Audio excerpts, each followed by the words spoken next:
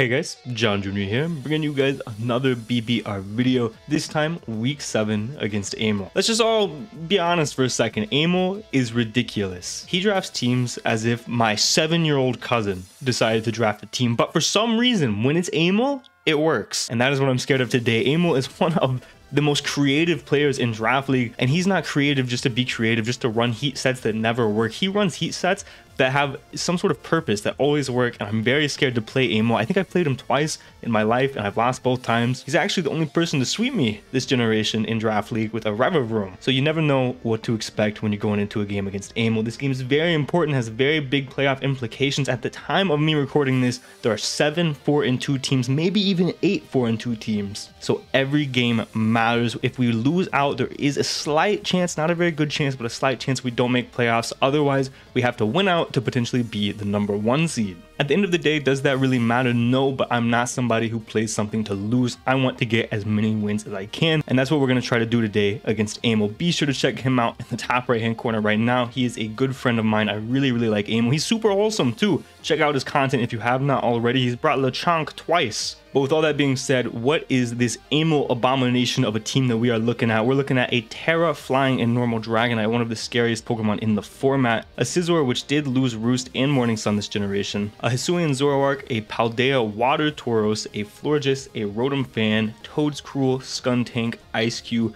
Armarouge, and of course Lechonk.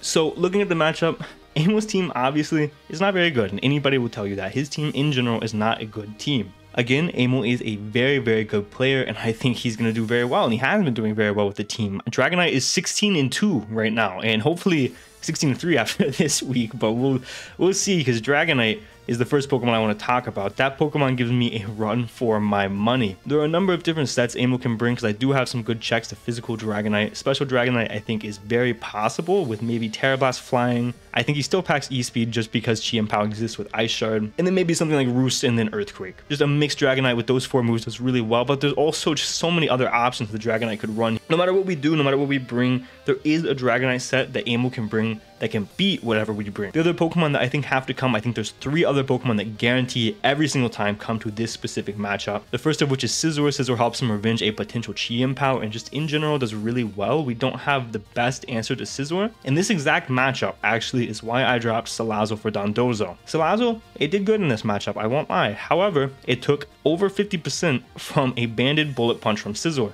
Dondozo helps us mitigate that a little bit, and we'll talk about that a little bit later, but Scizor does just do so well, especially if he gets chip on our entire team. The next Pokemon that I think has to come is Hisuian Zoroark. We don't have the best specially defensive answers to Hisuian Zoroark. We have Wo-Chien, but Wo-Chien doesn't have a great matchup, and even if he's just specs and he wants to get chip on us, then he's going to do a lot of damage, or if he's modest, which he is going to be, he should be at least in this matchup, he is just going to do way too much damage to our Wo-Chien. And other than that, we actually don't have a really good switch in. And the last Pokemon that I think always has to come is going to be Toedscruel. Toedscruel is the only remover on his team because Rotom lost Defog and Scizor lost Defog, and I'm pretty sure Skuntank and Florges both lost Defog. Toedscruel is his only remover, and not only that, it's a remover that beats Gholdengo, so I think that is invaluable to this matchup, especially a matchup where I have Glimmora, where T-Spikes are really annoying for you, where Spikes are super annoying for you, I think you have to bring Toedscruel. And just in general, the Pokemon does really, really well. The only great answers we have to it kind of are Cyclizar, uh, Wo-Chien, and Kilowattrel, and Cyclizar not, not so much, man, not so much. Other than that, I think the other two slots are up in the air. My prediction for the last two slots are probably Water Paldea Tauros, who doesn't have the best matchup, but it does help him check Chien-Pao, which otherwise he struggles with a lot.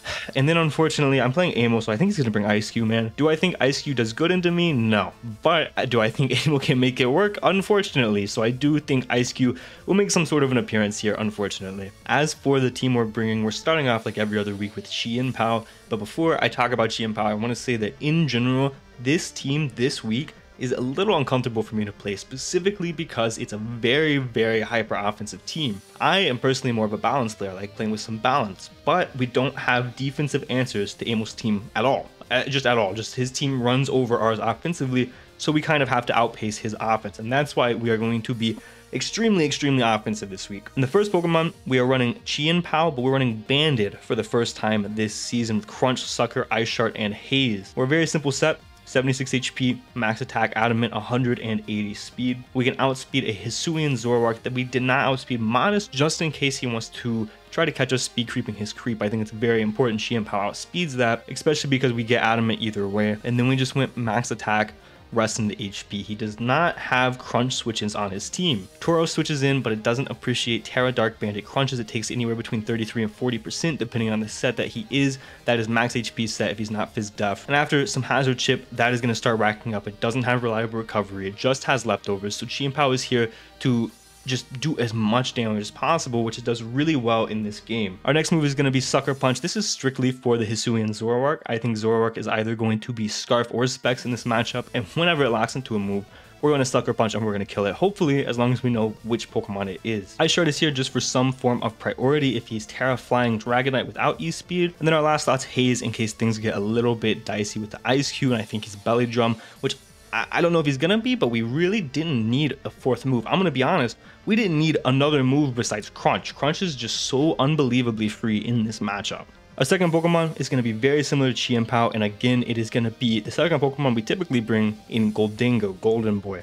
If you look at Amo's team, he does not have a switch into dual stabs Gholdengo, and Gholdengo comes in super easily on a lot of different Pokemon. It can hard switch on the Dragonite, it can come in if he brings Florges, it can come in on Eiscue, and we have a lot of momentum on this team to get Gholdengo in for free and just fire off a Make It Rain. Choice specs Make It Rain does like 50% to an offensive Scizor, which I think he's going to be in this matchup. So if we can position both Chien Pao and Gholdengo really well, we are going to run away with how much damage we can do. We brought Shadow Ball. It's a similar thing to Chien Pao. We really only need Make It Rain but Shadow Ball is here in case he does bring Armarouge and because of Tauros Paldea Water. And then our last two moves, his team, the main threats are physical, so we brought Reflect just in case, and then we have Memento because we don't need a last move, and who knows, maybe Memento could get us into a position with Chien Pao to win the game. Very unlikely we ever click it, but we didn't need four moves. As for our EVs, very similar to Chien Pao, we are 32 HP, max special attack, and 224 speed timid. The speed allows us to outspeed Dragonite, which is very crucial because if he's not a Dragon Dance set, we can outpace him and fire out a Specs and Make It Rain and just obliterate him. And the game plan with these two Pokemon, these first two Pokemon, Chien Pao and Gholdengo, is very, very simple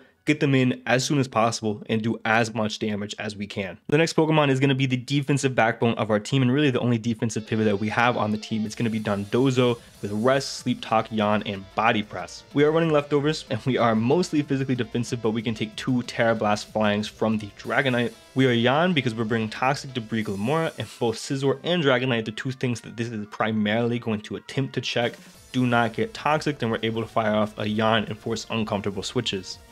And then we're body press because body press is just the best attacking move into this team. We're not going to stand on Hisuian Zoroark, and if we do, I guess we're going to try to yawn it. But we have other options for Hisuian Zoroark, so this Pokemon is not here for that. Next up, I heard you guys talking down on me for not bringing Cyclizar for a month and a half, so we are bringing Vroom, AV Vroom. No, that's actually not why we're bringing him. We're bringing Cyclizar here because it is one of our only ways to kind of pivot into the Hisuian Zoroark. Like I said before, I do heavily anticipate him to be either Scarf or Specs, more so Scarf, and Cyclizar helps us pivot in on the Zoroark and see what move it locks into. Other than that, it is going to be here strictly for momentum. It's a very good momentum on in this matchup. We're able to pivot into Gholdengo on a lot of things and pivot into Chien Pao maybe. We have knockoff to remove items, rapid spin because he, if he does bring Toedscruel, he is going to probably be some sort of stack, and then Dragon Tail to prevent Dragonite or Scizor from setting up in our faces. We have 248 HP, 76 attack, 120 split def with 64 speed jolly. We can live two non-specs modest hyper voices from the Zoroark after rocks. It's very complicated, but essentially we can outspeed him, creeping us, creeping him, creeping the Hisuian Zoroark. It's very complicated. Essentially, if he decides to be timid Hisuian Zoroark with a little bit of speed just in case our Chien Pao is trying to outspeed him, this Cyclizar should theoretically still outspeed that Pokemon. And this guy's only purpose, his only, only purpose is to switch in to the Hisuian Zoroark, but he can also switch into the Toedscruel. I did forget to mention that. He can switch into the Toedscruel and make the Toedscruel a little bit uncomfortable with Rapid Spin, Knockoff, and U-Turn. Our next Pokemon is going to be pivotal for our game plan. We are Shimmy, the Glimmora, with the Focus Sash. Once again, Stealth Rock, Spikes, Power Gem, and Spiky Shield. We really only need Power Gem in this matchup. It hits everything except Toedscruel, who we're not staying in on, and the Tauros, who we're not staying in on. I decided to bring Hazard Stack this week because Amo's only remover is Toedscruel, and while I do definitely think it has to come if at any point he lets it go down, then we're in a really good spot. And it also forces him to get some rapid spins off and then we're able to pivot into certain Pokemon very, very easily. We are Sash not because this is going to be our lead, but because he only has one setter on his entire team in Toedscruel, and I don't think there are really going to be hazards on our side of the field for most of the game because we can pretty reliably remove them with our Cyclizar. So having the Sash to potentially revenge a Dragon Dance Dragonite is going to be very, very important. And then we're Spiky Shield because again, we didn't really need a fourth move and it helps us get toxic damage on other Pokemon as well as see if other Pokemon are Zoroark. We're 48 HP, 252 special attack, 208 speed, timid. This simply allows us to outspeed the Dragonite and then we went the rest into special attack because we are Focus Sash. The EVs are a little bit lame this week, but I think the team functionality is definitely there. And then lastly, we're bringing a fan favorite. We're bringing Kilowattrel to another week. This Pokemon has just been surprising me and making me so happy that I picked him week in and week out. We are safety goggles to specifically switch in on that Toedscruel safely. I don't know if he'll be Spore, but just in case he is, we can switch in on that Pokemon. And we are Roost, Hurricane, Thunderbolt, and Volt Switch. He does not switch into dual stabs very well at all. His ground type is actually Toedscruel. So if we can pivot this, even if we force a Rapid Spin on the Toedscruel, if we can get this Pokemon in on the Toedscruel, we can just fire off a Hurricane and get some massive damage off. Not only that, but if he does bring Rotom Fan for whatever reason, which I really don't see happening, we are Volt Absorb just in case. I consider going competitive just for the Tauros Paldea water, but I feel like it's very unlikely that a situation ever arises where we get intimidated, so I valued the Volt Absorb a little bit more.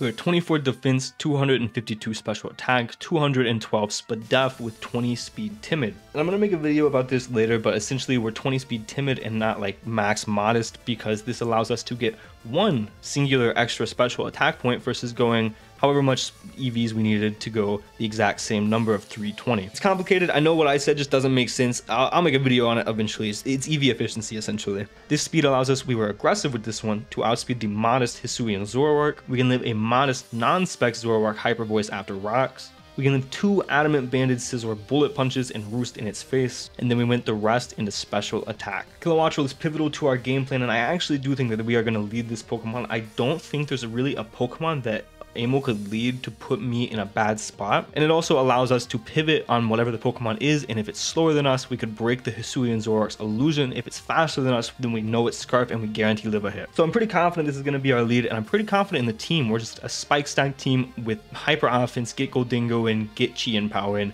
try to do as much damage as possible. Like I said, it's a little bit of an uncomfortable playstyle for me. So we're going to see how well it goes. And Amo's a very good player. So I expect to see some things that I was not anticipating. That's all from me guys, so I'm gonna go ahead and get ready for this match. Thank you guys so much for watching. If you made it this far, it means the world to me. Make sure to leave a like and subscribe if you have not already. And thank you so much for watching. And for now guys, this has been John Jr. signing off.